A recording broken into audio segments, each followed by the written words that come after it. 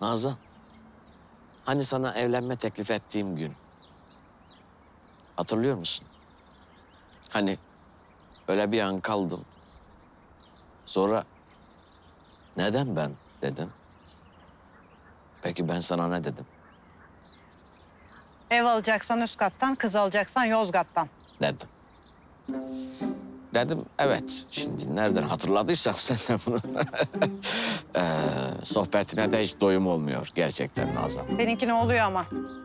Hadi. Peki tamam. Sonra ne dedim? Sonra ben yine sordum neden ben diye. Sen de dedin ki Ağlattım değil mi?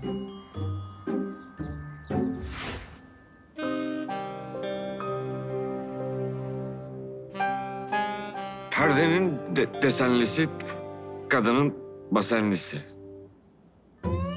ya sabır. Hadi ya. Tüh. ben o gün bir yarım yatıştırıcı almıştım da bozdu galiba. Ama sonra şöyle bir süzdüm seni.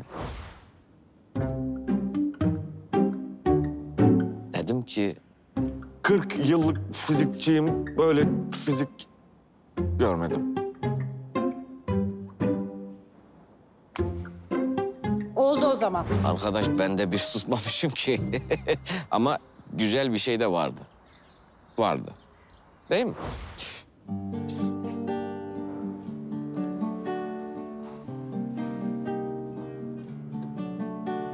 Eksikmişim senden önce.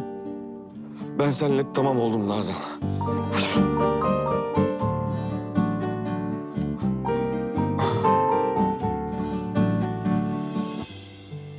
Vay arkadaş lafa bak ya. Çenen çıksın Kamil. Gözlerin zaman kırılmasının ispatı gibi Nazan. Geçmişim, bugünüm, geleceğim hepsi bir bakışta toplanmış. Gülüşün çekim yasası gibi. Hani birbirinden bağımsız iki cisim birbirini çeker ya. İlk görüşte aşk gibi. Hani sen arabayla geçerken bana gülümsemiştin. Ben de sana selam vermek babında selektör yapacaktım. Bir anda su fışkırtıp silecekleri çalıştırdım.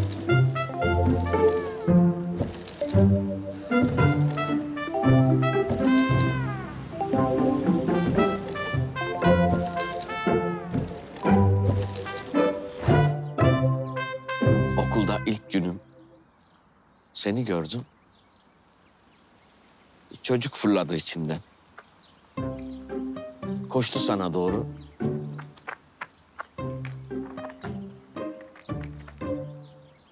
Sonra her yer bahar bahçe. Sonra bir gün Kamil'le bahçede yürüyoruz. Boşanma celbin geldi. Bir yarım gitti sanki.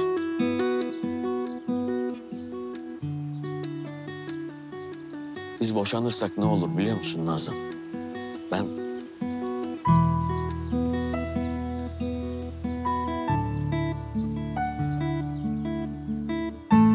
Hepten yok olurum Nazan. Ay iyi madem e, yarın buluşup konuşalım bir yerde. Sonra belki yine tamam olurum.